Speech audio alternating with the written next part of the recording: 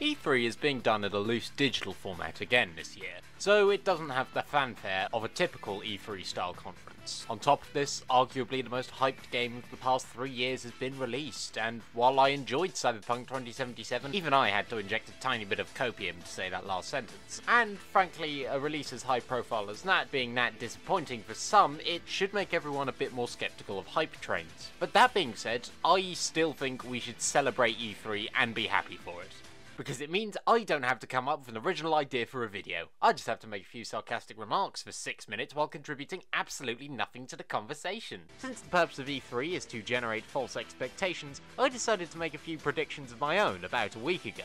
So here's the recording I did, which was 100% off the cuff, and was not in fact the second take because I held the mic too close to my face. Today is the 10th of June when I'm recording this. You have no right to believe me on this, but it is. At the moment, Battlefield 2042 has only been revealed. I think the gameplay trailer is going to be heavily edited and only really show us one map. The Pokemon presentations are going to focus more on Diamond and Pearl than they are Legends Arceus, or Arceus, however the fuck you pronounce it. Starfield and Elden Ring I don't think they're going to happen. Uh, Starfield, to me, I think does have the potential to be the Cyberpunk 2077 in terms of hype, and given that it's Bethesda developing it, probably also Cyberpunk 2077 in terms of bugs. Ghostwire Tokyo will be showing some gameplay and then announcing a delay. Deathloop, uh, it'll be showing some gameplay and telling us things we already know. Far Cry 6, going to be showing us some gameplay, probably on a mission where uh, Giancarlo Esposito I,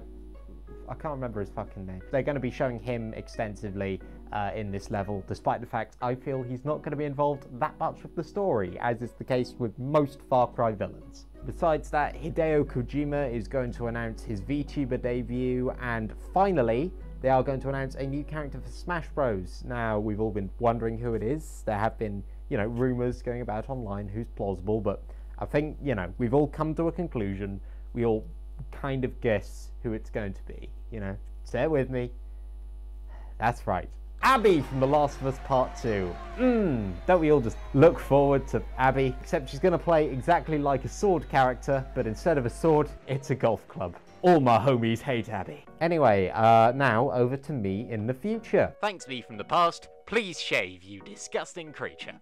So, today is the 16th of June, and E3 has, for the most part, splooged its load, with the E3 and Sony conferences to act as the embarrassing bit that gets washed away by the urine when you go to pee. And in order to distract you from the fact I just wrote that metaphor, let's kick things off by talking about Battlefield 2042 was the property I was putting my hype bucks behind this E3, and while I was 100% right about a trailer being heavily edited and telling us nothing that we didn't know already, I'm still cautiously looking forward to this game. But I'm not pre-ordering for several reasons. One, the map count is pitiful, especially considering that the current gen versions are going to be downsized. Two, crossplay hasn't been confirmed. I assume that if it happens, it would only be between consoles of the same generation, but I would still like it to be a feature at launch. Finally, the other modes are rumoured to be non-respawn affairs and that rubs me up the wrong way. Battlefield is known for encouraging people to do wacky shit in multiplayer while getting rewarded for it, and to make it quote unquote tactical would be a waste, especially now that they have reduced competition since COD started focusing on BR. I've been thinking about this for a while, but EA could easily be making one of the best FPS games ever, provided they stick to the franchise's pre-established foundations of prioritizing instant respawn, vehicle versus infantry combat,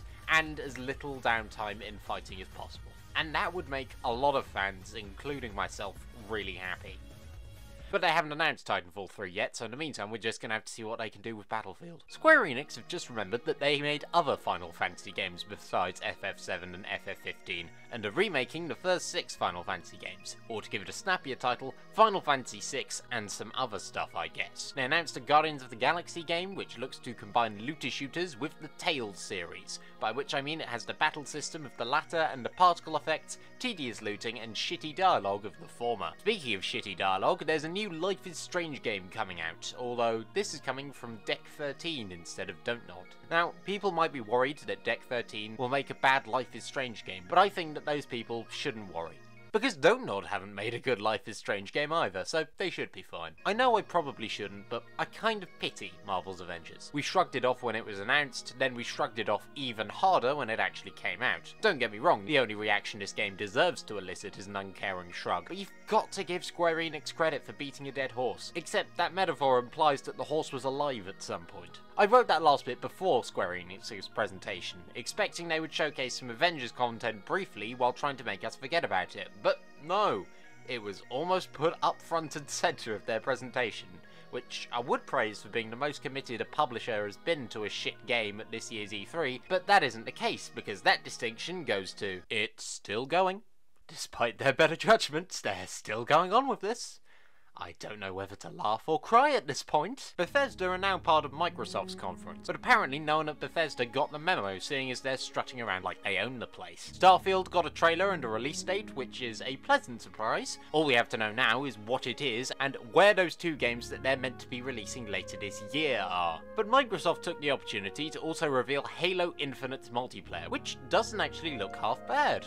I think. Haven't really played any Halo. But considering it's free, if I do end up buying an Xbox Series X, I'll probably pick it up. Before immediately dropping it while calling it BTEC Titanfall. Supposedly Sony were actually intending to show up, it's just that the weight of the PS5s they were planning to run the demos on were too heavy to get onto any stage that Sony could have filmed a conference on. But I think there was an announcement for Horizon Forbidden West. I haven't watched it because I don't want to spoil Zero Dawn, but I've heard the gameplay looks good, so uh, props I guess. That's uh, always true of a final product. Ubisoft's conference came and went with a resounding Eh. There really isn't anything worth mentioning about Rainbow Six Extraction, apart from this moment in the trailer which used the Modern Warfare 2 intervention quickscope sound. I was completely right about Far Cry 6, but then again, Ubisoft being predictable is a revelation on the same level as oxygen is breathable, the sun is hot, and maybe the reason people don't talk to me is because of my general insufferability. Although it wasn't all unsurprising, since the last trailer they showed was for a quote-unquote hot property they had a collaboration with. I was thinking that this was going to be their segue into revealing that Star Wars game they have the right to develop, but as it turns out, it was a fucking Avatar game. Got to say, I'm kind of impressed. I was expecting a game that looks impressive, will make a lot of money, yet is immediately forgettable, but I was not expecting it to be based on the movie that embodies looks impressive, made a lot of money, yet is immediately forgettable. This is an announcement that makes me feel so middle of the road that it might actually be an effective replacement for Fluoxetine. The last conference of the season that I actually gave a shit about was Nintendo's. I'm going to preface this section by saying that I don't own a Switch, and I'm not the kind of guy who creams their pants at the mere mere mention of Mario Menagerie, but the Pokemon reveals from earlier this year actually had me hopeful that Nintendo would showcase something that would pique my interest. Don't get me wrong, they didn't say shit about any Pokemon titles, and the majority of it was fairly mundane. Two Point Campus appears to be an organising sim based around managing a university. I thought it was just going to be a PC exclusive since the procrastinate, act pretentious, and regret decisions buttons would be hard to map onto consoles. Kazuya is being added to Smash, so now it means we have Street Fighter characters able to fight against a character from their biggest rival franchise. Wait a minute. He's not from Mortal Kombat? Where's he from then? Oh, right, let me redo that. Now it means we have Street Fighter characters able to fight against a character from the Tekken series. Again. Shin Megami Tensei 5 seems to be going in a direction that appeals to a bunch of noobs who have only played Persona 5 and want to pretend that they know other SMT games. For some reason I quite like the look of it. There's a Mario Party remastering, which I'm optimistic for, mainly because it just means more Hololive collabs. Breath of the Wild 2 is actually still in development. I guess it looks good, but frankly, I don't care because more Metroid, baby! Metroid Dread is set after the events of Metroid Fusion. Finally, a continuation of the timeline. They seem to be bringing back the mechanics from the second best remake of Metroid 2. Good stuff, that game was pretty slick, although not quite as slick as a certain other property. I just hope that it lives up to the dread in its title, since I'd rather this game felt more like Metroid Fusion than Super Metroid. I personally prefer Fusion because that game was fantastic with its horror elements, and definitely not because it's more linear, thus more easy than Super Metroid. Who am I kidding? And of course, we have to mention that Elden Ring got a trailer, which means that the majority of my predictions for this year were wrong. But that being said, let's conclude by having a look at the interview with Hideo Kojima where he announced Death Stranding, somehow even longer cutscenes edition. But what I want to focus on is this bit of the interview, where he stresses that he makes entertainment. He does not make games, he makes entertainment. By that logic, the game development company he owns is an entertainment company. Like Hololive. I was fucking right all along, baby. Hideo Kojima VTuber debut. Let's fucking go. Obviously, that part was a joke. Hideo Kojima didn't make a VTuber debut at this year's E3.